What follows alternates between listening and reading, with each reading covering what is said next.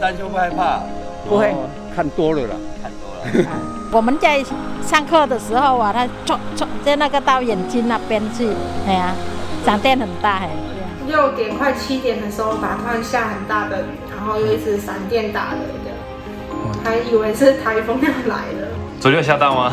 有，突然间就没有预警的打雷这样子。对，主要还是受到整个对流旺盛的情况所造成。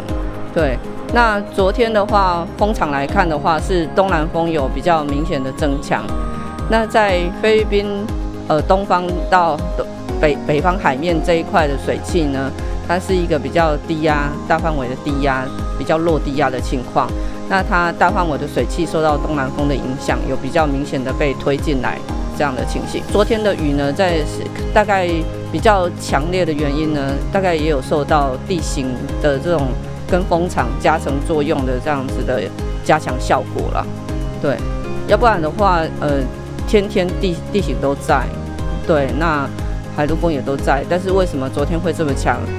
除了风场刚好比较适合之外，所以然后再造成水汽源源不断的，就是菲律宾东方到北方的这一块水汽源源不断在进来，把它这样整个推进来，跟地形的加强效果。会比较有明显这样子增强这种闪电跟旺盛对流的情形。